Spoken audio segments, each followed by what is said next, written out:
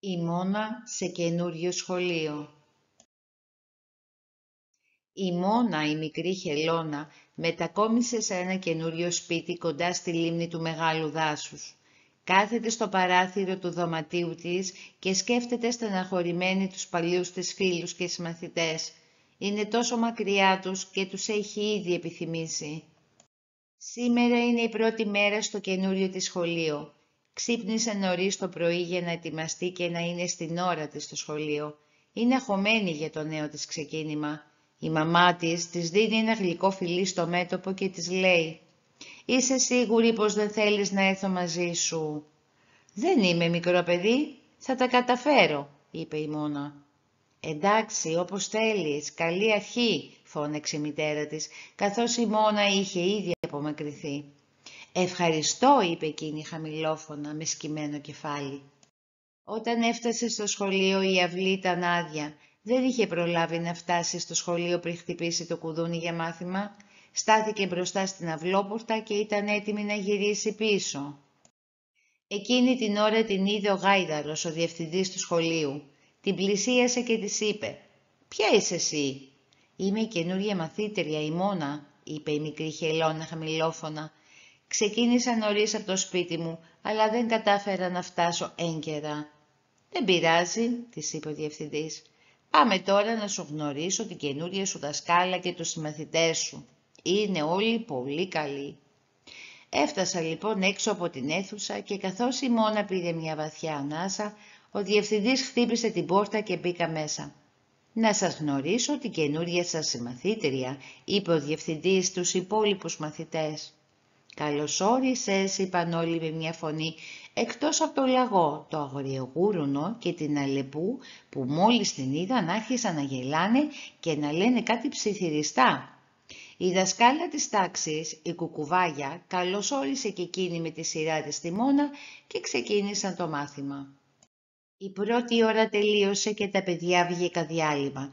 Καθώς περπατούσε η μόνα μόνη της στο διάδρομο του σχολείου, την πλησίασαν ο λαγός, το αγριογούρνο και η αλυπού και της είπαν κοροϊδευτικά. Μέχρι να φτάσει στην αυλή θα έχει τελειώσει το διάλειμμα και έφυγα γρήγορα γελώντας. Η μόνα στεναχωρήθηκε, αλλά συνέχισε να περπατάει. Όταν μπήκαν ξανά στην τάξη, η Μόνα βρήκε το τετράδιό της μουτζουρωμένο και το μολύβι της σπασμένο. Δεν είπε όμως τίποτα σε κανέναν. Εξάλλου ποιος θα την πίστευε, σκέφτηκε. Έσβησε λοιπόν τις μουτζούρες και πήρε ένα άλλο μολύβι.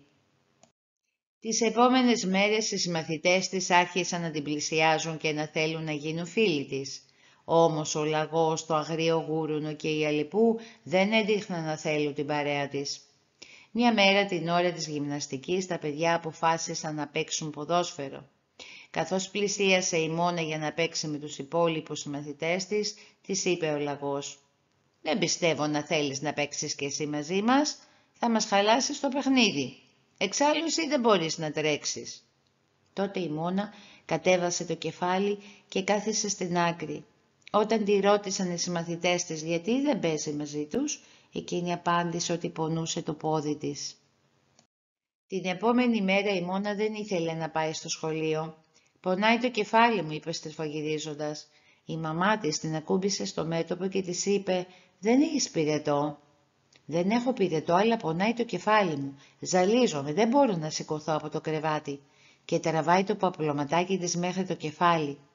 Η Μόνα κλαίει κάτω από τα σκεπάσματα και σκέφτεται δεν θα ξαναπάω σε αυτό το σχολείο. Ποτέ, ποτέ, ποτέ. Μακάρι να μπορούσα να γυρίσω στο παλιό μου σχολείο και στους φίλους μου. Η Μόνα πέρασε όλη της τη μέρα στο κρεβάτι. Το απόγευμα πέρασε ο Βάκης, στο βαταρχάκι, από το σπίτι της για να τη δει και να πάνε βόλτα. Η Μόνα όμως δεν ήθελε να βγει και του είπε πως δεν ένιωθε πολύ καλά. Την άλλη μέρα το πρωί όταν πήγε η μαμά της να την ξυπνήσει για να πάει στο σχολείο, η Μόνα της είπε Είμαι άρρωστη, πολύ άρρωστη, πονάει ο λαιμός μου, δεν μπορώ να μιλήσω, άρα δεν μπορώ να πάω στο σχολείο και τράβηξε το παύλωμά της. Δεν θα ξαναπάω στο σχολείο αυτό, ποτέ, ποτέ, ποτέ. Η μητέρα της ανησύχησε πολύ και κάλεσε τον γιατρό. Εκείνος την εξέτασε και τη διαβεβαίωσε πως δεν είχε τίποτα και πως κάτι άλλο ίσως να συμβαίνει. Η μητέρα της μόνας την πλησίασε, την πήρε στην αγκαλιά της και τη ρώτησε «Τι σου συμβαίνει μόνα μου, γιατί δεν θες να πας στο σχολείο» «Τίποτα δεν μου συμβαίνει», απάντησε η μόνα. «Ήμουν άρρωστη, αυτό είναι όλο, τώρα νιώθω καλύτερα». Την επόμενη μέρα η μόνα με βαριά καρδιά σηκώθηκε, ετοιμάστηκε και πήγε στο σχολείο. Μόλις την είδαν οι φίλοι της, έτρεξαν να τη δουν και να της ευχηθούν περαστικά. Καθώς όμως πήγαινε να αφήσει τη τσάντα της στην τάξη, άκουσε το λαγό και την αλεπού που ψιθυρίζοντας έλεγαν «Ωχ, ήρθε πάλι καινούρια, κάτι πρέπει να τις κάνουμε».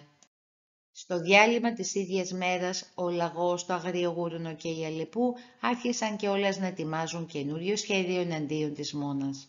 Ξεκίνησαν να σκάβουν στην άκρη της αυλής μια λακκούβα, την οποία θα σκέπαζαν με φύλλα και μέσα θα έπεφτε η μικρή χελώνα. Οι συμμαθητές της μόνας, τα πουλιά που πετούσαν πάνω από την αυλή του σχολείου, είδαν ότι κάτι ετοίμαζαν οι τρεις φίλοι. Κρύφτηκα λοιπόν στο δέντρο και άκουσαν τους τρεις φίλους να λένε κοροϊδευτικά «Καλά, θα γελάσουμε πάρα πολύ όταν θα πέφτει μέσα η καινούρια». Τα πουλιά που άκουσαν αυτά τα λόγια πέταξαν γρήγορα για να πούν στη δασκάλα τους αυτά που είχαν δει και είχαν ακούσει. Η κυρία Κουκουβάγια ευχαρίστησε τα πουλιά που την ενημέρωσαν και άρχισε να σκέφτεται πώς θα μπορούσε να αντιμετωπίσει το πρόβλημα που είχε δημιουργηθεί. Η μόνη λύση ήταν να μιλήσεις σε όλους τους μαθητές της για θέματα σωστής συμπεριφοράς. Έτσι και έγινε. Την επόμενη μέρα τα παιδιά δεν έκαναν μάθημα. Η κυρία Κουκουβάγια τους είπε ότι θα έκαναν κάτι πολύ πιο σημαντικό. Θα μιλούσαν για το πώς θα έπρεπε να συμπεριφέρονται στους μαθητές τους. Όλοι είστε ίσοι μεταξύ σας, παρόλο που είστε διαφορετικοί. Δεν έχει σημασία αν κάποιοι είστε πιο ψηλοί ή πιο κοντοί, πιο δυνατοί ή πιο αδύνατοι. Όλοι έχετε τα ίδια δικαιώματα και τις ίδιες υποχρεώσεις. Σε όλη τη διάρκεια της συζήτησης η Μόνα ήταν σκυφτή και δεν μιλούσε γιατί φοβόταν. Όταν τελείωσε το σχολείο και τα παιδιά σχόλασαν, ο λαγός, το αγριογούρουνο και η αλεπού πλησίασαν τη Μόνα. Η Μόνα φοβήθηκε όταν τους είδε να την πλησιάζουν, όμως εκείνοι τη διαβεβαίωσαν ότι δεν θα την κορόιδευαν ξανά. Κατάλαβαν το λάθος τους και ήθελαν να επανορθώσουν. Τη ζήτησα συγγνώμη για ό,τι τις είχαν κάνει και τις πρότεινα να γίνουν φίλοι. Η μόνα τους συγχώρεσε και από τότε τα τέσσερα ζωάκια έγιναν αχώριστοι φίλοι.